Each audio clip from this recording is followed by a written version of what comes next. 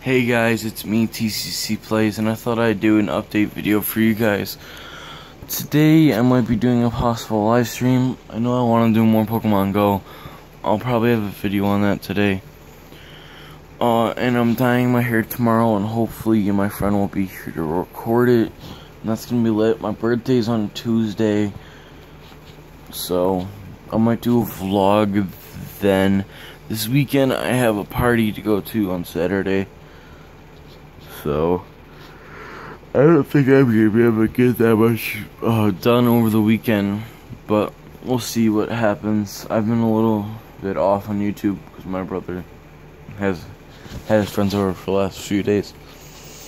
But anyway, I just wanted to let you guys know what happened. So I'll catch you guys later.